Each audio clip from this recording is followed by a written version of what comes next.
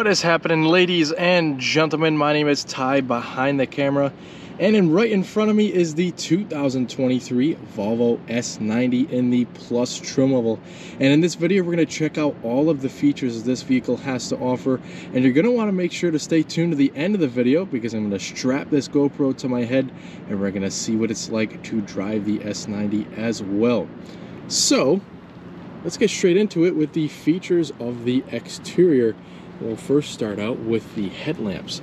Take a look at them, all very nice and illuminated. All LED units for your high and low beams, as well as your daytime running lights and turn signals. You also have headlamp washers, um, parking sensors up front as well, and take a look at these really nice uh, LED fog lamps. Now this S90 does have the bright exterior trim, meaning we have lots of chrome and bright work on the outside, giving it a very nice and stately look. Take a look at that grill. just looks very, very upscale. We have the Volvo emblem with the camera in the front, and that is one of four cameras uh, that make a 360 degree view camera system, and we'll see that view once we get on the interior. Nice long hood, some pretty cool creases going down into the front bumper. And we do have the optional 20 inch diamond cut wheels. Very, very nice looking. We have black pockets and sort of that machine um, finish on the face of the wheel. And as you can see, our tires measure 255 35. Down the side, we have some more chrome accents, and those chrome accents continue around the windows. The mirrors have the turn signal indicators as well as blind spot warning in them. And we also have smart key entry on all four of the door handles. As you can see, this little pad right here, you just tap to lock, and you can put your hand behind the handle to unlock. And again, that does go for all four door handles. If we take a look up top, we have a shark fin antenna and a nice panoramic sunroof system. And we'll take a step back so that you can see the profile very nice long uh, car for us to look at today. Um, as of 2023 and I think a few years prior, uh, all S90s for the United States at least are in a long wheelbase configuration. Taking a look out back, the deck lid has a little built-in spoiler, which is very nice. And we have the same LED treatment back here as up front, so we have LED bulbs for the turn signals, tail lights, and brake lights. Looks very nice, all illuminated. We have parking sensors back here and the reversing camera right over here. And we also have a trunk release right underneath the L in Volvo. We have the S90, the Volvo badging spelled out, and our powertrain badging back here as well. that'll round it out for the exterior. I think this car looks absolutely awesome. What do you guys think? Let me know in the comments. Before we get any further into the video, I would like to discuss the powertrain with you guys. It is only one motor available for 2023, and that is the B6 powertrain, which entails a 2-liter turbocharged and supercharged inline 4 and it produces 295 horsepower, 310 pound-feet of torque, and it is a mild hybrid setup, so we do have that starter generator as a helper to the gasoline motor. Uh, we will have all-wheel drive and all S90s, and it will come hooked up to an 8-speed automatic.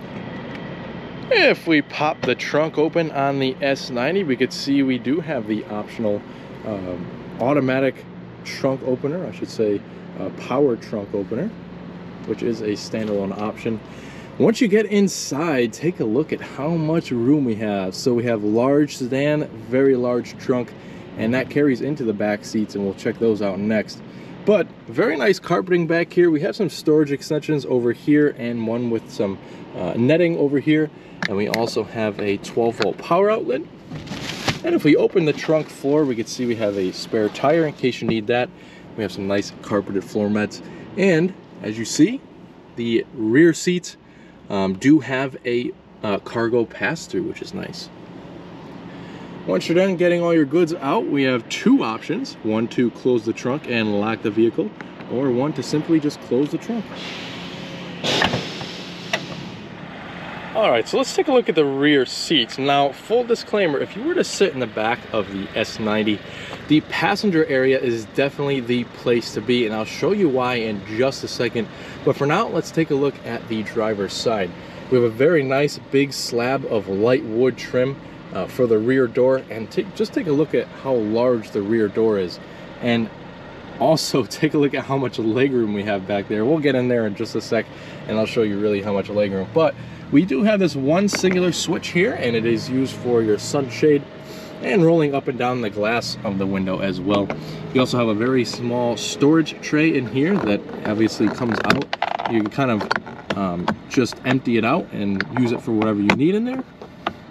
We also do have a lock unlock button and this car has the 14 speaker Harman Kardon audio system which is the mid uh, grade of audio system. You have three audio systems available for this car. Lots of storage down here too on the door. And if we take a look back here, we also have a nice illuminated um, sill tray and a full black leather interior. Very nice quality to the leather too. You can see the uh, graining is very prominent.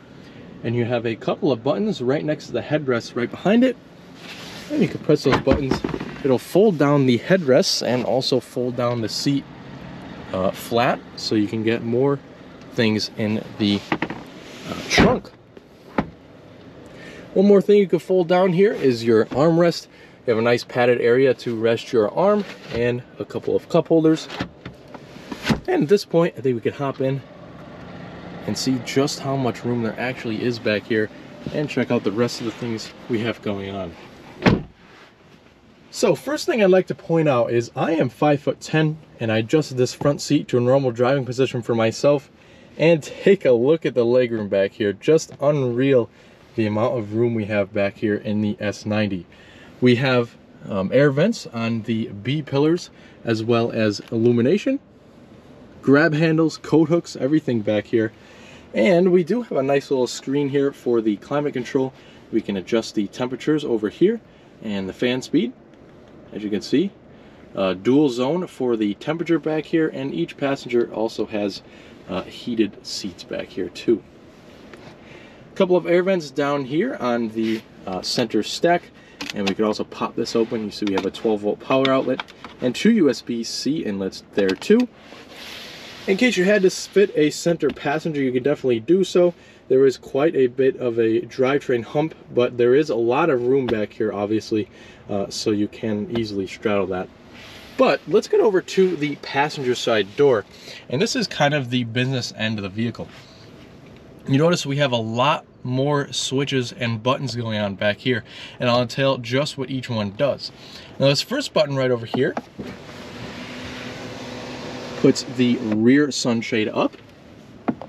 This button, these two buttons over here will control the side window shades as well as both of the um, the windows themselves. These two buttons over here will control the sunroof and sunshade. So the sunshade you can move back and forth with this button here, and the actual glass part of the sunroof you can move back and forth and also tilt it right over here.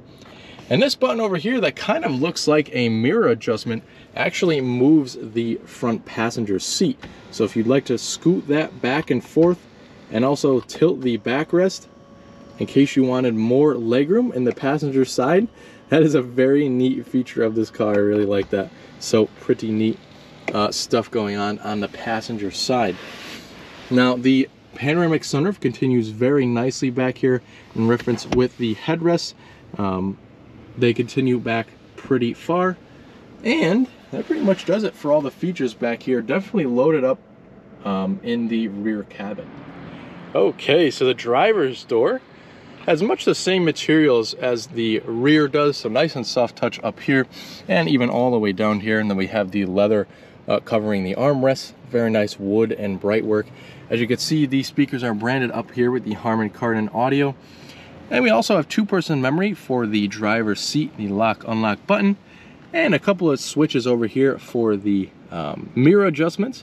And if you both toggle the left and right buttons at the same time, the mirrors will fold we also have all of the regular window controls and the rear will also operate the sunshades. And we also have powered child locks for the rear as well. A little bit of storage down below with a little bottle holder. And uh, not just one, but two speakers on the driver's door.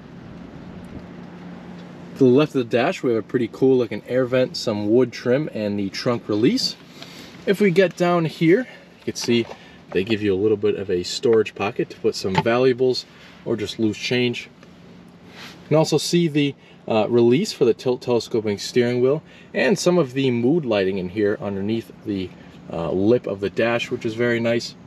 The pedals down there all covered in rubber and of course, just like out back, the illuminated um, sill. The driver's seat is full powered with the two-way lumbar. Of course, you can get more advanced seats as you go up the trim levels. And take a look at the seats, very nice, uh, sort of uh, traditional style to the seats. Of course, you know, as I just said, you can get a lot nicer seats to go with this car with massaging, cooling functions, all that good stuff. Uh, but let's hop in next, start up, and see what kind of other features we have up front. All right, so here's the key fob for the S90, very much like every other Volvo key fob. You have the buttons to the side, so you have the lock, unlock, trunk release, and the panic alarm on this side. We also have this little switch which you can move over and a key will kind of come apart and the physical key will be on the inside in case you need to use that. But of course we do have this uh, switch to start the engine. Now because of the mild hybrid setup, you don't actually hear a actual starter uh, to turn over the motor. You just kind of hear the motor whir on. Uh, it's pretty interesting. Now let's start off the features up here with the steering wheel. So very nice soft leather with the same color stitching on the inside. We have all the buttons here for adaptive cruise control and we also have voice commands, a little bit of an adjustment for the screen up top and this will also double uh, to control various things in the screen or up and down for the volume and skipping back and forth for the uh, radio stations. Behind the steering wheel, we of course have a couple of stocks, one for your turn signals, automatic high beams, all the rest of your headlamp controls, and the front and rear fog lamps. And of course, to the other side, we have the adjustments for the wipers. Now, very nice looking LCD screen up here for the instrument cluster. Not a whole lot of configuration going on with this, uh, but I will show you a couple of different things. If you click this sort of more info button, um, the uh, navigation map will show up. Um, and also if you click this button here, uh, more of the trip odometer and things will show up. Uh, this will actually show up if you have the um, the uh, uh, navigation set on a waypoint it'll actually show up with the navigation up there. Taking a look up here, we have a nice soft to the touch dash, another speaker up there, and that brings me down to our infotainment screen. And of course, it is the new Google-based system that Volvo has had eh, for the past year or so, and it has been trickling into all of the uh, current models that Volvo has. Of course, again, Google-based system, so we do have um, Google Maps for our navigation, and we could input our search right over here. We have a home button right at the base of the screen. We also have the audio screen with all of our channels over here. We have favorites, and then we could also search by categories or just uh, search the channel number. Right over here we have the phone screen, which of course we don't have a phone connected at the moment, but you can pair a phone with the Apple CarPlay or um, with the Bluetooth. And you also have your Google Assistant down here. Now if you press this button over here, we have kind of a jumblation of all of the different apps that this vehicle has. So we have the radio, the Sirius XM, podcasts, um, news, the phone screen, Apple CarPlay, and all that good stuff in the uh, car status as well. So tire pressures, any reminders or anything for service will be in that screen. You also swipe up top and log out uh, different uh, users for the vehicle. You have the camera button over here, which of course this has a 360 view. Once you press that button, the rear view camera will pop up, but if you want the 360 view, you just press right in the center. And if you want a specific view, like the front, you just press the front of the car. Or like the side, you just press what side you want, pretty cool. And when you have the uh, menus up, you, you have toggles to turn on and off the parking sensors and the auto braking for the rear. Over here we have our settings for our heated seats and heated steering wheel. uh, this for the driver and this side for the passenger. Then we also have a devoted climate screen, um, which will pop up like so. We have their defrosters up top, AC settings, and then you can kind of press on where you want the air to blow. We have our fan speed over here, and at the bottom we have the temperature. So um, a four zone climate control in this vehicle, and you can kind of sync it in the center like so. You also adjust the rear climate with an individual fan speed and of course the uh, temperatures too. We have automatic settings for the seats and steering wheel as well, which is very nice. And uh, if we go to the settings, there's a couple of things I'd like to go through in here. We have some driving customization so that you can turn on or off our steering assist.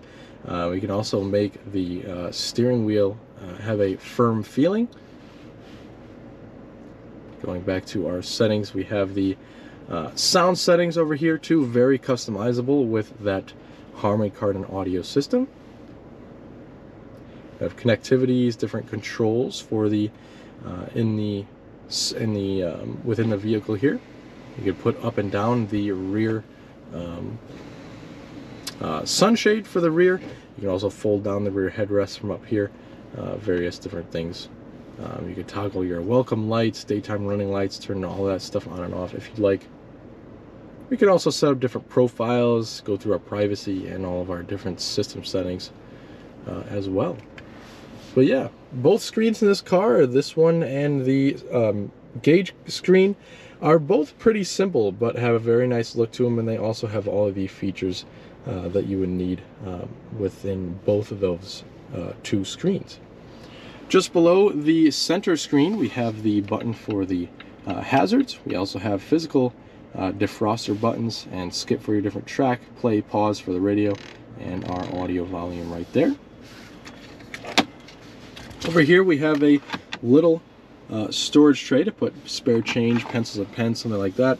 And we can slide this larger one back. We have a little bit of storage over here with a 12 volt power outlet and two uh, cup holders. Here we have the gear selector that's kind of hollowed out. It's got a pretty cool look to it for that 8-speed automatic transmission. And we could bump it all the way down into drive. We could then, from there, bump it down once more and put it into manual mode.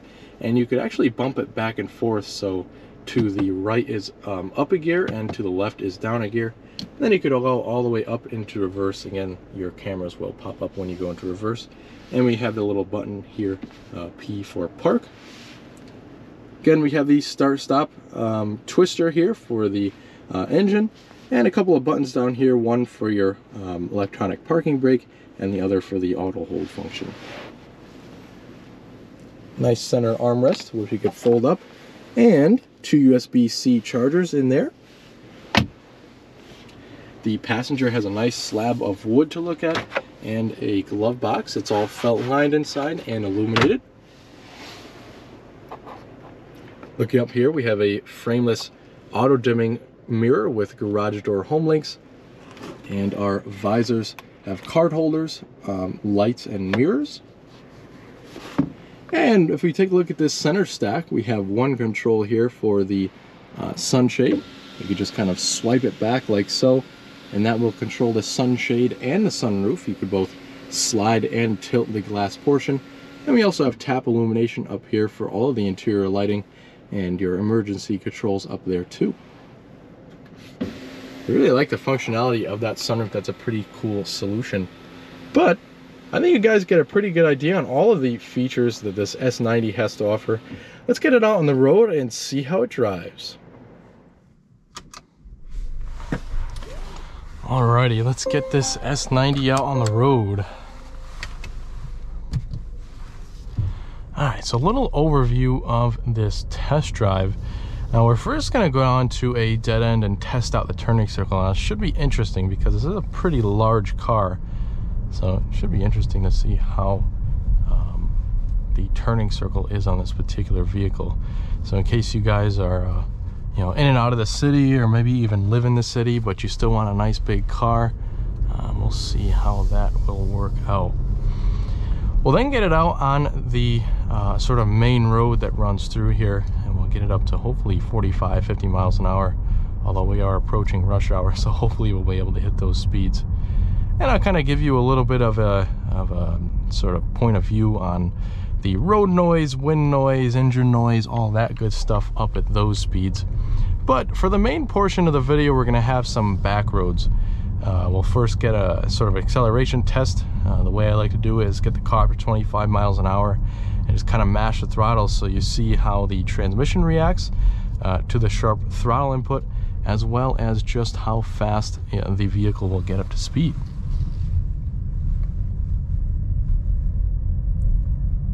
Yeah, so we do have a little bit of a larger turning circle, of course, just to do the uh, larger nature of this vehicle, uh, but it still isn't too bad.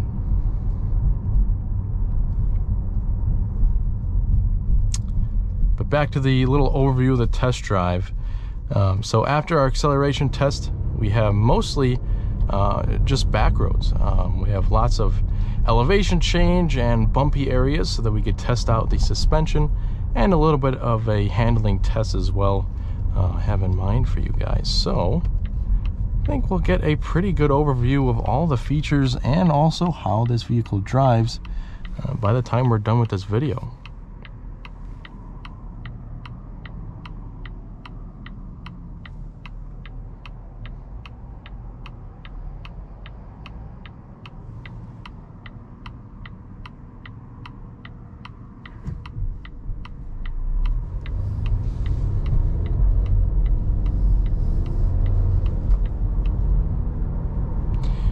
Okay, so the rush hour traffic is definitely out.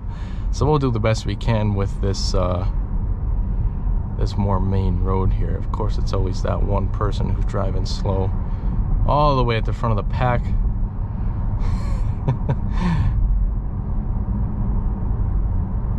well, yeah, I guess we are approaching 45 miles an hour, and at these speeds, even with the 20-inch wheels that are optional on this particular car, the wind noise and um, tire noise are very minimal.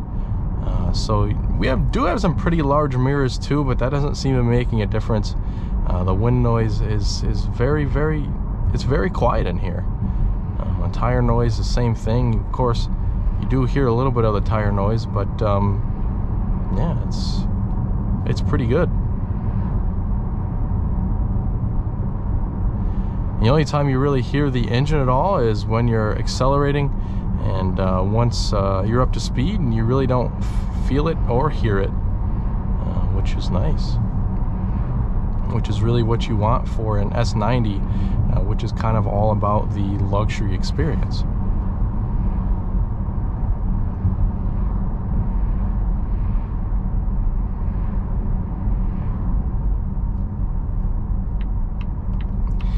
Okay, so we're gonna hop onto the back road starting here, and this is where we're going to do the acceleration test. Uh, so once this traffic gets out of our way, we will get that underway.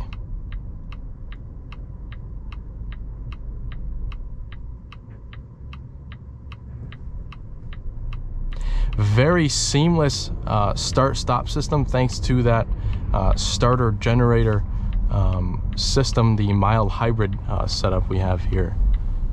So again, we'll get it to 25 and mash the throttle and see what happens.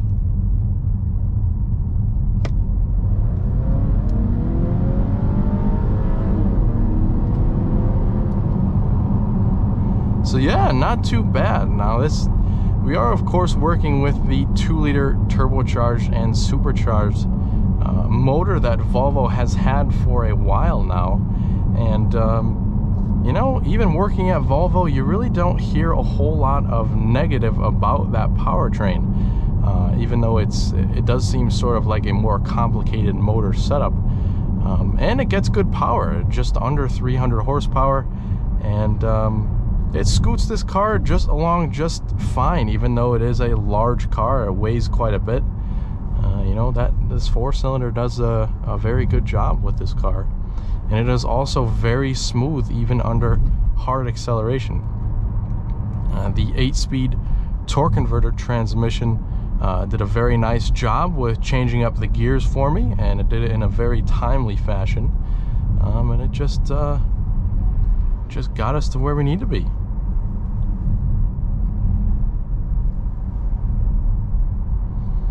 Now all S90s will come standard with all-wheel drive and for this year uh, it looks like um, Volvo will only be offering the uh, S90 in the B6 powertrain um,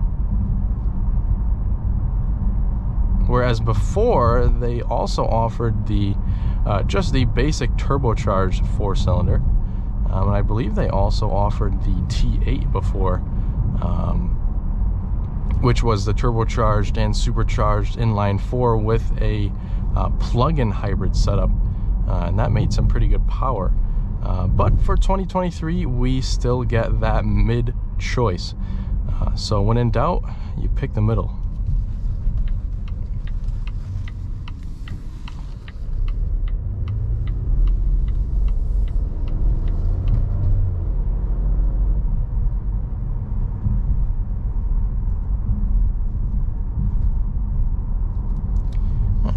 Have a little bit of a corner here.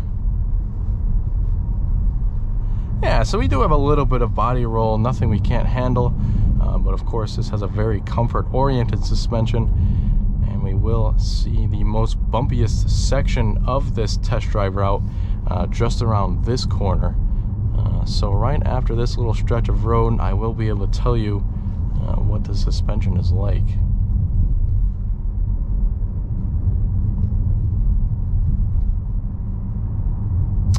Yeah, so as you can see, the road ahead of us is just lots of patchwork and just uneven road.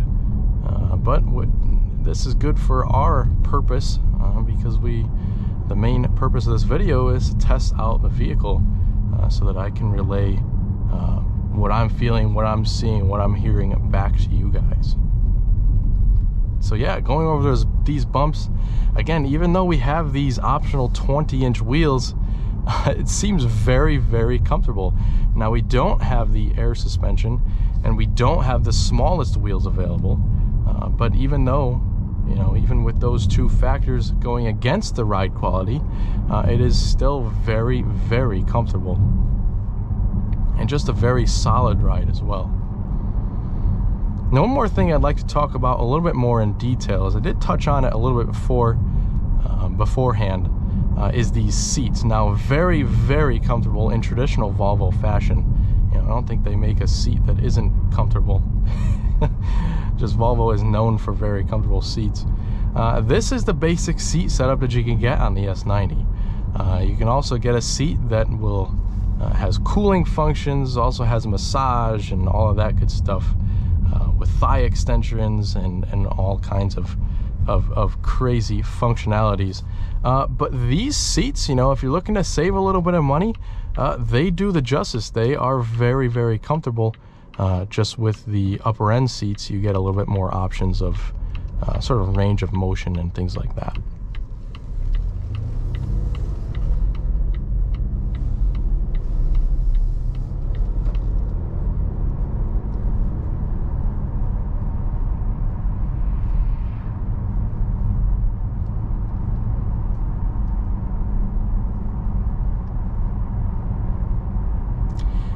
Just a very impressive ride quality.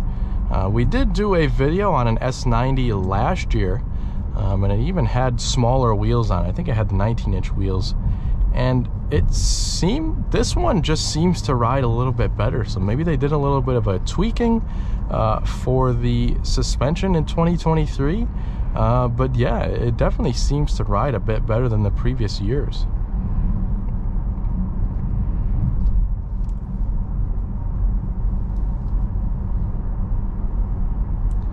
The steering is actually surprising me too. It's a pretty direct uh, steering setup, meaning you know you only have to turn the wheel a bit uh, to get it to go in the direction that you like. So that's pretty cool too. And you do also have that uh, toggle within the infotainment to firm or loosen up the steering feel.